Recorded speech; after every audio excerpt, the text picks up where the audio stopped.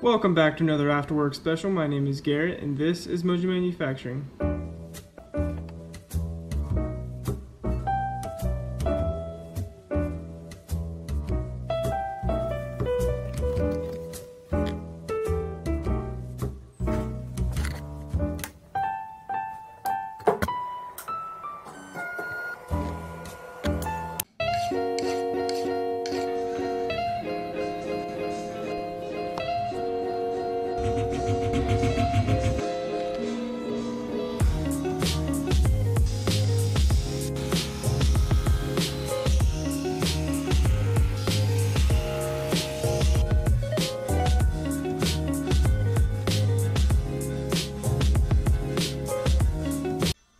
Got it done.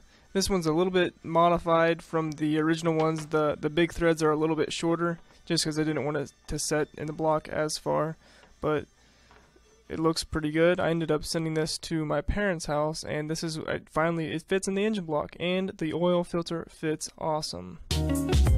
So other than getting that finished up this week, I did a lot of fixture work for the short throw shifter kit. And I checked it this week in my car and it looks perfectly fine just like it was when I put it in there. So I'm willing to go forward with that and start making the fixture. So here is what the bare fixture looks like. And basically there's just little pockets here for the raw material and then when I flip it over here's the pockets for where the finished side goes basically. So this is an 8 by 14 piece and my cutting area is 7 by 14 ish somewhere around in that area. So I I uh, optimize it so it's obviously within the 7 by 14 uh, all the the cutting or the parts to be cut. So I'll just bring those in here and there is one side of the short throw shift kit. And uh, I milled out some pockets here rather than having this channel through here so that should work out a little bit better uh, apparently it makes it just slightly more rigid, the whole fixture itself. Oh, and this is one inch thick. Uh, I don't know if it should be thicker than that, but this whole thing with shipping the raw piece, it was about $50, uh, which I didn't think was terribly bad. Alright, so here we go. Here is what the parts should look like, and I have them labeled. I'm going to engrave some pieces here. This will be the top portion, and then I'll flip these over to here, and this will be the top portion, machining the second operation, and the opposite way for the bottom. So that shouldn't be too bad. And my origin for when I cut these is going to be right in the center. So when I after I cut the fixture, I'll also mill this little hole right here, and that's how I'll zero it every time I use this fixture.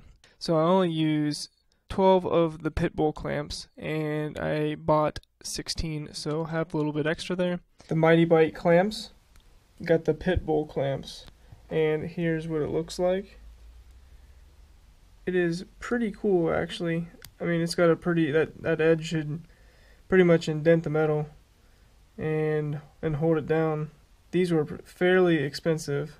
About they were $100 for a pack of eight and I had to get an 832 tap because that's what these socket head cap screws are. I hope this will be alright in respect to uh, holding it, holding the raw stock against this piece right here, or against uh, another piece of aluminum. Basically, I hope that just holds up for a decent amount of time. I mean, I, I feel like I should have some like uh, some of those Mitee-Bite Talon grips back here to hold, to also hold it down with the pit bull clamps, but I didn't want to go that far as to spend that much money on the clamps when I know this should probably work, but we will find out. Hopefully in the next video I cut the fixture and order some material. So I'm just hoping for that. I really am excited to cut this fixture out. So that's really about all I got done this week and I was just super excited that that oil filter adapter actually worked. It took a few tries but I guess that's what it takes to get something to actually work sometimes. Hopefully I start busting through the learning curve a little bit just so I can make things even faster. I truly enjoy doing this stuff. That's why I do it. And that's why, and I like making the videos too. And I like seeing what people have to say. Hopefully, hopefully you guys have something to say about the fixture, good, bad, or ugly. I don't care. If you have a comment about it, then go for it. I'm always willing to change it unless I already have the part made up, and then that at that point it would just suck because I'd have to remake it depending on how severe the problem was. I hope you enjoyed watching me cut that last oil filter adapter and listening to me talk about the fixture that I want to make. Hopefully we cut it next time. Thanks for watching.